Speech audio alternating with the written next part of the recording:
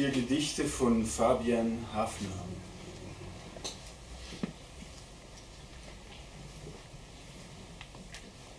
Verlassen. Die Heimat. Leihlosen. Die Heimat. Verlosen bin ich. Verlos die auf mich. Süß. Nicht wahr? Der Tod fürs Vaterland. Im Feld,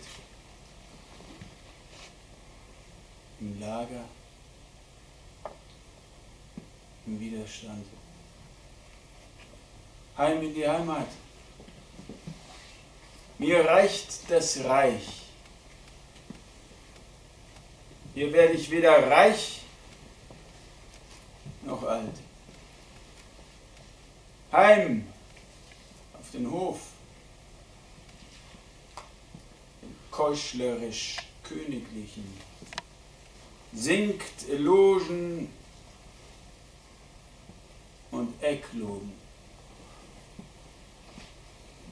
Ob sie denn schon logen, wie sie um die Ecke bogen? Helden braucht die Heimat, keine Heulsusen.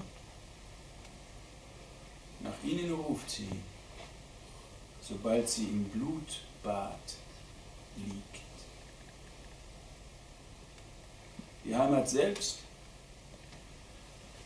ist unterjocht.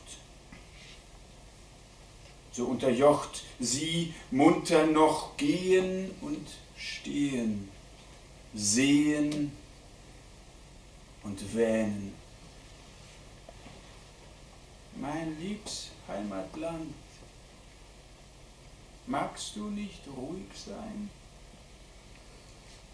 In deinen feuchten Schoß kehre ich stocksteif heim. So, nun halt deinen Mund und alle Seelen werden gesund.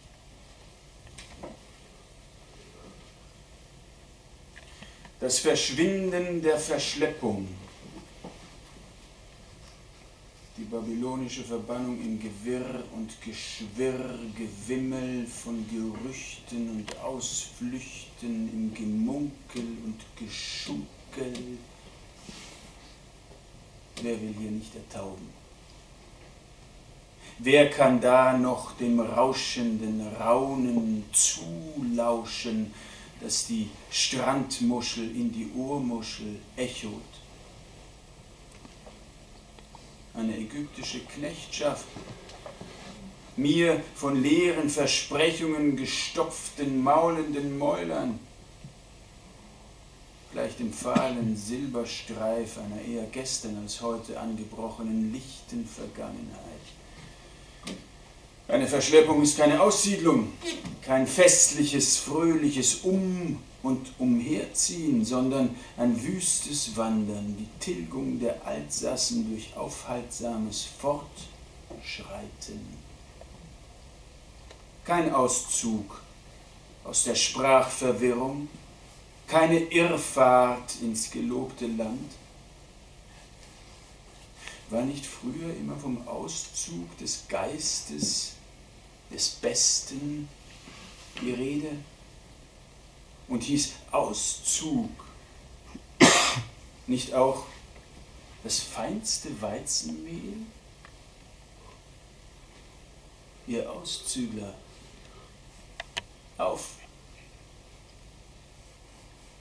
Die Widerborstigen striegelt man zu Fleiß gegen ihren Strich, zäumt sie von hinten auf, die willfährige Saumpferde über und über beladen, nur um sie in den nächstbesten Abgrund zu jagen. So lautet ihr Los, ewiges Anderswo. Als Heimgekehrte bleiben sie tags wie nachts von Trug und Trut bedrückt.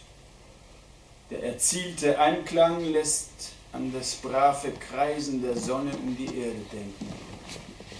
Übler als Tinnitus, vermeintlicher Weltenharmonien, ätherische Sphärenklänge.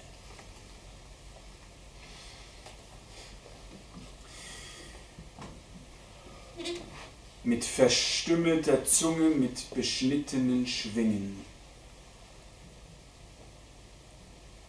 In Rollstühlen sitzen und fahren vergnügt gesunde Menschen, lachen über das ganze Gesicht, weil ihnen freundliche Ärzte klargemacht haben, dass mit ihnen alles in bester Ordnung sei. Nichts fehlt ihnen und sie haben auch nichts. Nicht einmal eines Hirten bedarf diese gottgefällige, kopflose Herde, wo sie doch überglücklich ist, dass sie weiß, was immer sie denkt oder fühlt, es stimmt schlicht nicht. Es mangelt ihnen nur an Rechten, sondern nicht nur an Rechten, sondern auch an jenen, die von ihnen Gebrauch machten. Mit jeder mehrsprachigen Aufschrift im Land schwindet die Mehrsprachigkeit in den Menschen. Das uralte Begehr der verewigten Vorfahren wurde nur gefällig befriedigt, damit wir Nachgeborenen kein eigenes entwickeln. Wer tief fliegt, stürzt als erster ab. Dem Horror vacui, der sich unverhofft eingestellt hat, begegnen wir kundig durch unverwandtes Anstarren der Sonne. Vom öden Erdboden aus glotzen wir ergeben himmelwärts auf ein durchlöchertes Himmelszelt, auf dem torkelnde Engel mit beschnittenen Schwingen schwirren.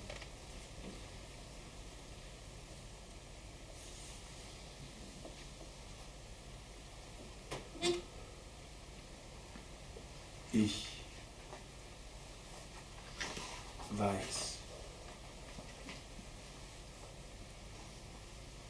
Sprich. Weiß, sprich. Verrate mir deine unzähligen Namen.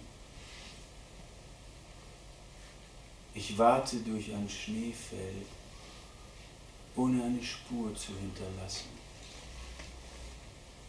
Auf allen Vieren krieche ich mit einem Mund voller Schmelzwasser schneeblind im Kreis.